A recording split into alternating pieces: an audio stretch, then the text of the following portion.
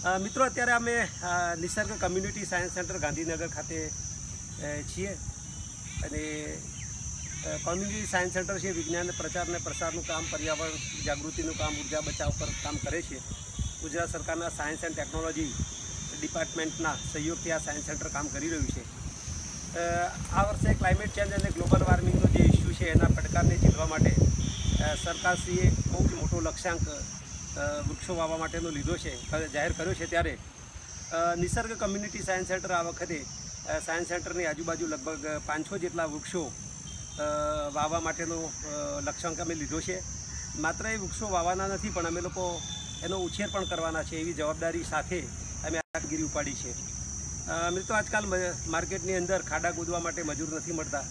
ત્યારે વિજ્ઞાન અને ટેકનોલોજીનો ઉપયોગ તો કરવો જ રહ્યો. તો આજે સાયન્સ સેન્ટર ખાતે અમે અર્થ અગર એક મશીન લઈ આવ્યા છે અને ઝડપથી પાંચસો જેટલા ખાડા ખોદવા માટે અને બીજાને પણ મદદરૂપ થઈ જવાના હેતુ સાથે અમે એક પ્રોજેક્ટ હાથમાં લીધો છે, તો મશીન કઈ રીતે કામ કરે છે, ખાસ કરીને જે લોકો વિજ્ઞાન અને ટેકનોલોજીમાં રસ ધરાવે છે, તો આ પ્રકારના વીડિયો ઘણા બધા જોવા મળે છે, પણ નિસર્ગ કોમ્યુનિટી સાયન્સ સેન્ટર એક આ નાનકડો વીડિયો એ અમારા સાથે જોડાયેલો વર્ગ છે, એમને ગમે એટલા માટે આ મૂક્યો છે. તો હવે સ્ટાર્ટ કરીએ છીએ. એક નાનકડું મશીન કેટલું ઝડપથી કામ કરે છે. સ્ટાર્ટ કરીએ.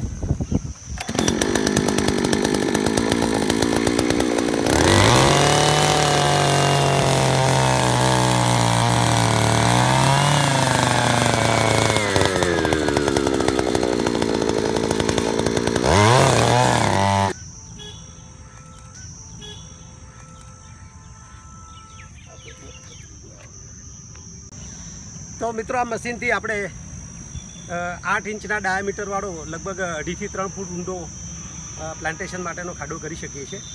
અમારી પાસે એક બીજું પણ વગર છે, જે મેં લઈ આવ્યા છે, જે એક ફૂટનો, અઢીથી ત્રણ ફૂટ સુધીનો ખાડો કરશે.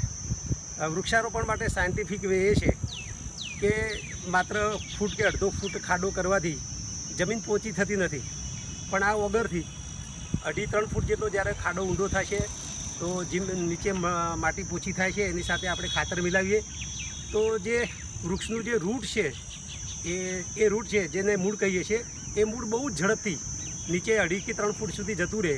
તો જમીનમાંથી આપોઆપ એ ભેજ ચૂસવાનું શરૂ કરે છે. તો એકાદ વર્ષ પછી કદાચ એને પાણી ન આપો તો પણ કુદરતી રીતે એ છોડ જમીનમાંથી ભેજ ખેંચીને મોટો થતો હોય છે. તો એક આ એક સાયન્ટિફિક પદ્ધતિ અમે લોકો વૃક્ષારોપણમાં અપનાવી છે. તો ચોક્કસ અમારો આ વીડિયો બધા મિત્રોને ગમશે. Thank you very much.